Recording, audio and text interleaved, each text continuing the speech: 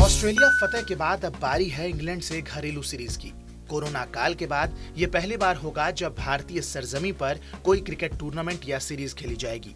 भारत और इंग्लैंड चार टेस्ट मैचों की सीरीज़ के लिए आमने सामने होंगे और पहले दो टेस्ट मैच चेन्नई में खेले जाएँगे। पर इस सीरीज़ की शुरुआत से पहले तमिलनाडु क्रिकेट एसोसिएशन की ओर से जो खबरें आ रही हैं, वो भारतीय क्रिकेट फैंस के लिए कुछ खास अच्छी नहीं है।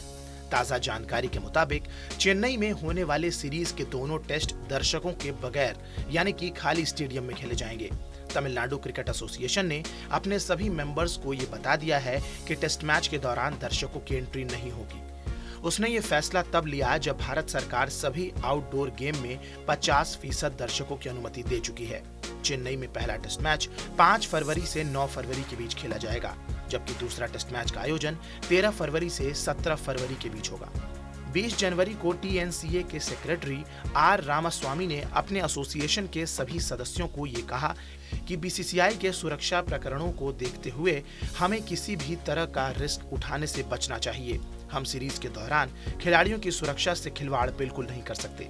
ऐसे में बोर्ड के निर्देशानुसार पहले दो टेस्ट खाली स्टेडियम में ही कराए जाएँगे। मतलब कि सिर्फ़ दर्शकों की ही एंट्री पर बैन नहीं होगा, बल्कि उनके अलावा गेस्ट और उप कमेटी के सदस्य भी मैच देखने नहीं आ सकेंगे। टीएनसीए का ये कदम सरकार के उस फैसले के बाद उठाया गया, जिसमें सभी सुरक्षा मापदंडों को अपनाते हुए 50 फ़ीसद दर्शकों की स्टेडियम में एंट्री की इजाज़त दी गई। सरकार का फैसला सभी आउटडोर स्पोर्ट्स के लिए लागू है। बहरहाल टीएनसीए माने या ना माने, पर गुजरात क्रिकेट एसोसिएशन अपने मोटेरा स्टेडियम के कुछ हिस्सों को दर्शकों के लिए खोलने वाला है।